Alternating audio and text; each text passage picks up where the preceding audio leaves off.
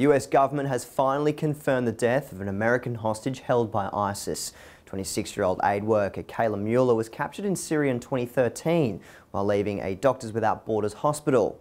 ISIS, also known as Daesh, said in a statement Ms Mueller was killed in a Jordanian airstrike, though US officials have expressed doubts over the account.